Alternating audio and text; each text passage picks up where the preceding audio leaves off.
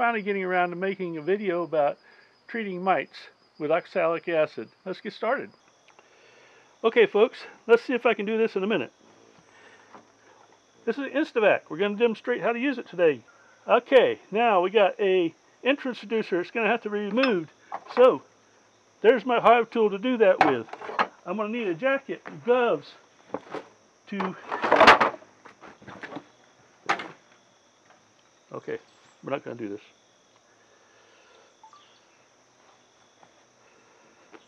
I don't have time for this. Have you ever tried to treat your bees with oxalic acid with one of these? It's a bit of a pain if you have more than one or two hives.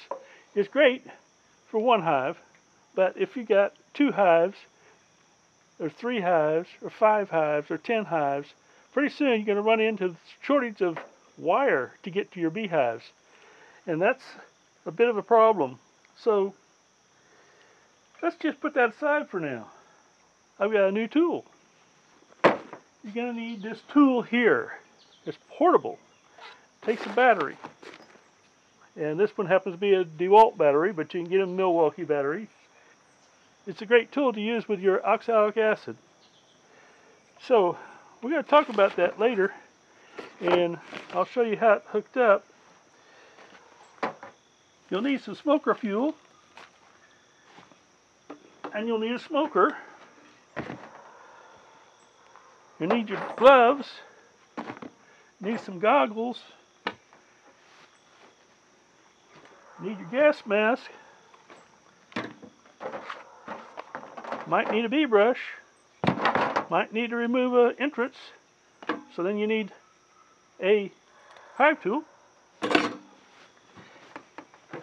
You'll probably need some oxalic acid, some rags, some wet rags, a little bit of water to block off the entrance.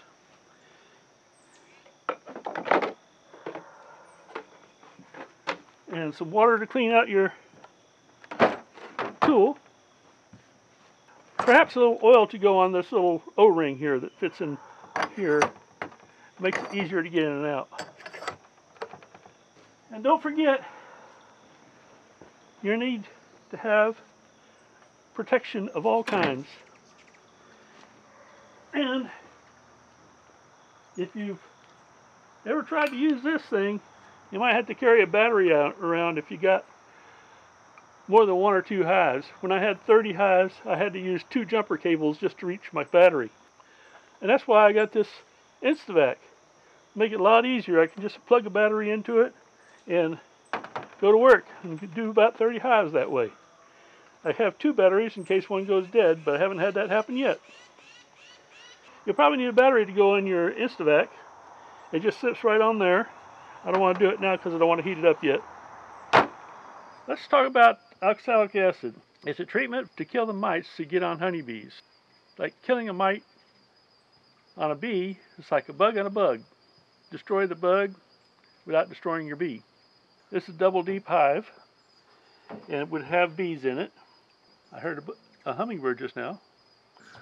And those bees may have mites on them, and probably do. And it's a good idea to check to see because mites are pretty prevalent and they do destroy a lot of beehives, bee colonies. By the way, a beehive is a box, colony is the bees inside. Usually consists of a queen and thousands of bees. They will fill this box with nectar and honey and brood. Usually the brood's on the bottom and the nectar and honey's on the top. Not always the case. Sometimes we have to make adjustments. Now I'm hearing those crows. They're flying around there somewhere. So I'll just set that aside for now. So one method, the old method that we used, it works pretty well, but there's a new one coming out. But the old method is this. As you can see, we have some wires here and some little clip-on clamps to hook up to a battery. The problem with this is that you're always running the wires. You can see I'm having difficulty even unwrapping it. and it's uh, limited in space. So if your beehives, if you got 30 or 40 beehives, it's hard to get to all them. What was done is this is a little heater here. And you put oxalic acid powder in here, and then you slide it inside the hive like this. And you cover that up with a wet rag so that the air can't escape. When you do an oxalic acid treatment, you're going to need some eye protection and some breathing protection. Something made for the oxalic acid, you can breathe this through this and you won't get it. I wish I had more details on that, but I don't. So, with a newer version, this is the new Lorobis vaporizer. I just got it, and I haven't used it yet, but I'm going to show you how it's done. So the battery just goes on like that. This is a 20 volt 5 amp hour battery from DeWalt. You got this little applicator here that you can adjust. That will go in here. So what you do, is you put, you just push this down here and you fill that up with uh, oxalic acid powder. And you put it in here, like that. When you're ready to apply it, you put it down in here like this, and that'll fit right in there. And then you just push the little plunger down once it's hot. There, we turn it on.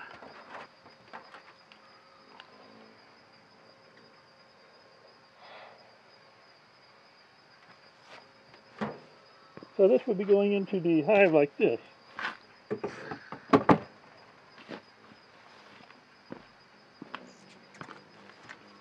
And it would kill the mites that are on the bees. Generally you have to do this about five times, five days apart. So it takes a few minutes for it to dissipate and you're done. You can take it out.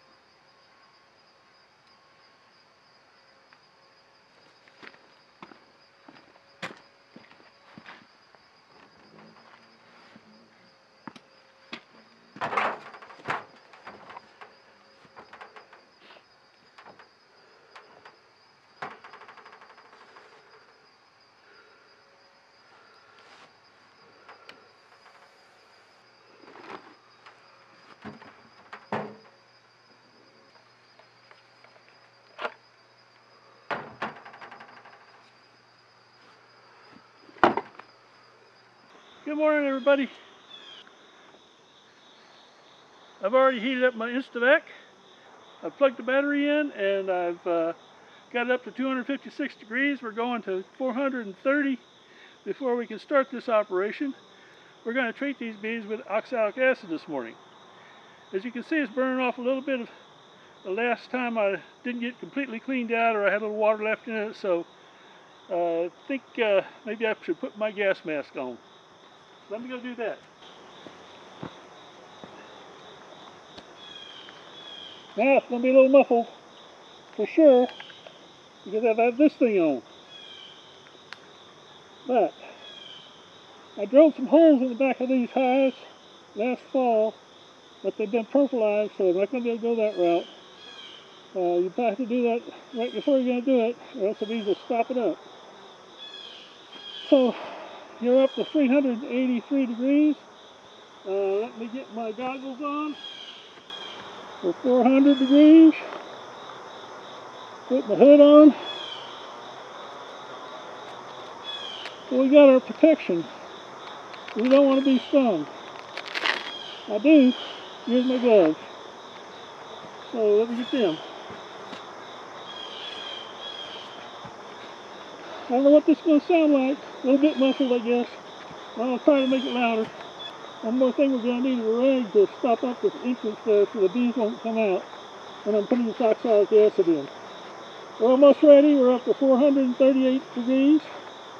439, I think we're good. So I get my wet rag. I'm out here early because I want all the bees in here so we can treat them all. They're not out flying yet. So let's just cover them up and close that entrance. All except for where my treatment, my InstantVap is going to go. I've got my oxalic acid here. I've already measured this to four grams. Just stick it in there like that. And stick that in there. As you can see, it's already started to go because there was some on the outside. And that just lifts right in there. You push the button down. That's all to it. It'll be done in a minute.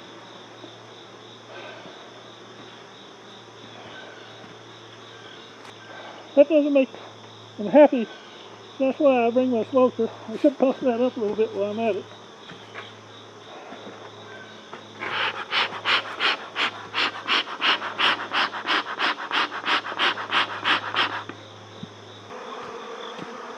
Now I found that if I have two anything, I'll lose one of them. And I've already lost one of my tools. I've already lost one of my hive tools. So we're just about done here.